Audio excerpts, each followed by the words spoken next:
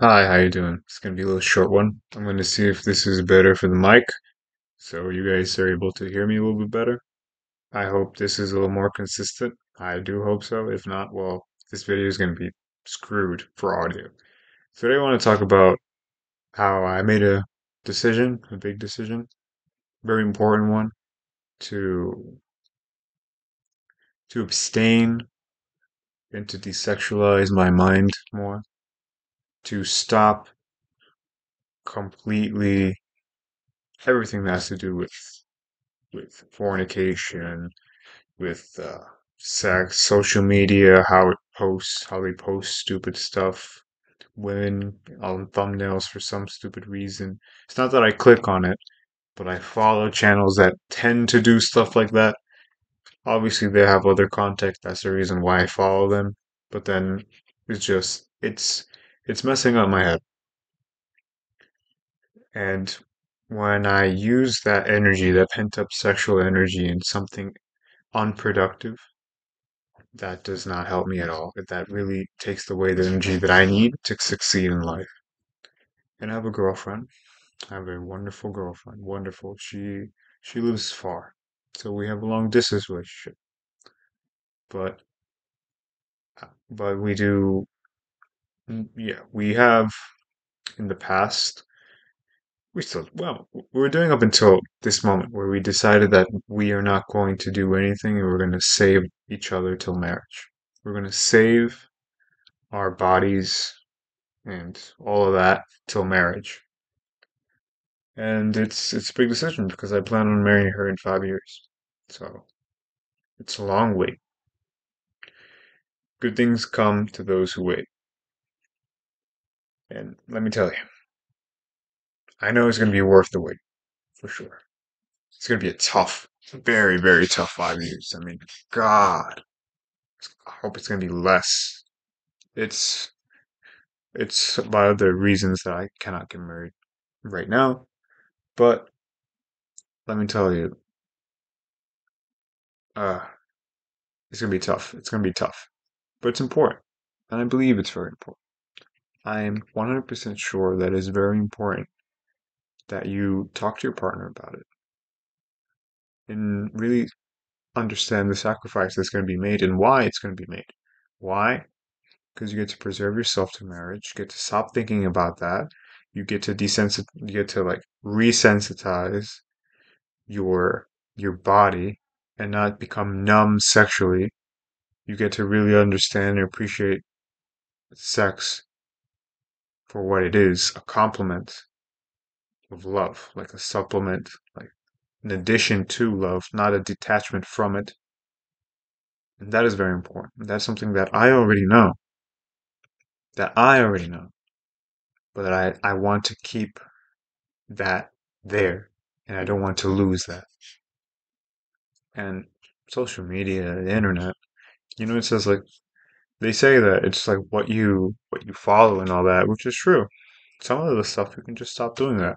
But then you're trying to watch TV when you, whenever, the, for some reason you're watching TV, and then you see an ad that's just basically that, just, just, just that the female body, just an attraction, and the and the product has nothing to do with it. But then, why do you have to do that? Why do you have to do that? Shows you watch any shows, and why do you have to do that? You're watching a cartoon or you're watching anime. Why did you have to? Like the show has nothing to do with um, you know, with showing off or why did you have to put that scene in there? Why? Like why?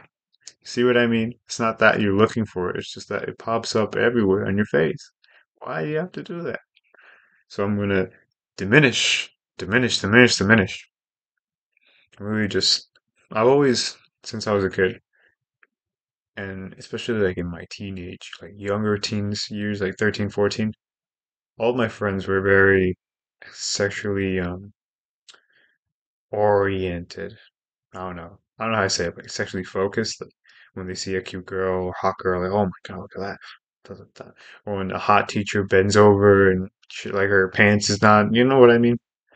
So they're, oh, look at that, look at that. And I never really saw or really paid attention to that. I always avoided that because to me it was like, I don't want to see that. That's not right.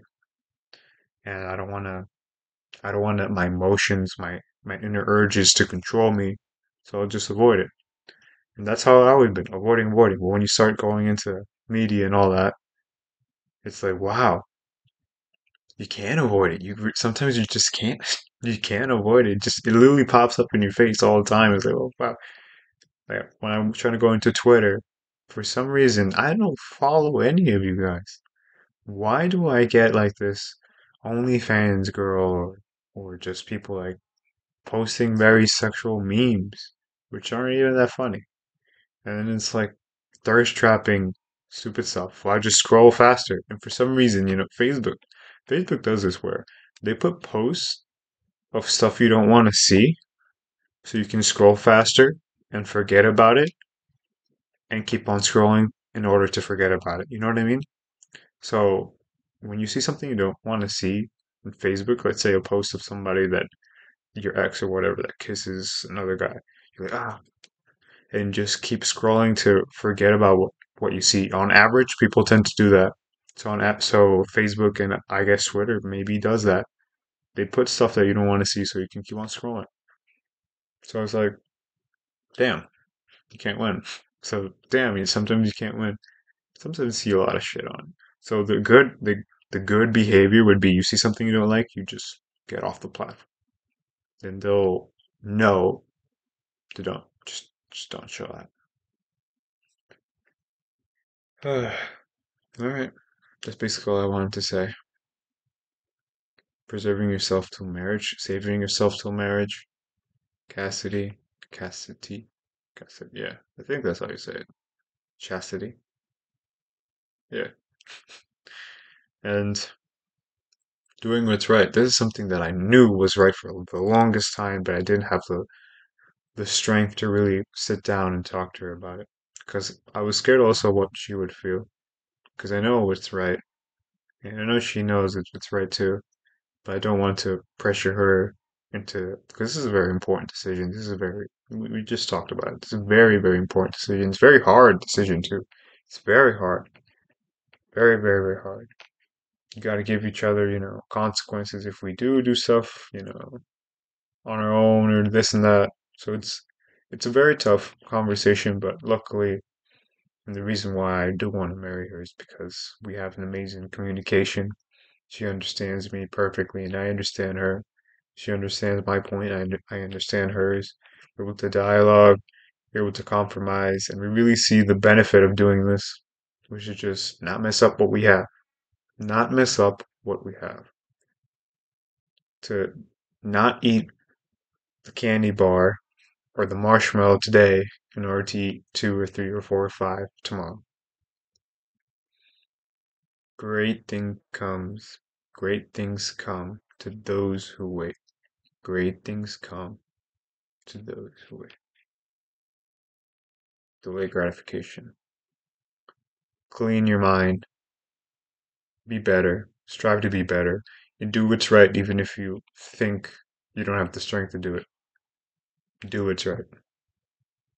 Have a wonderful, wonderful, wonderful day.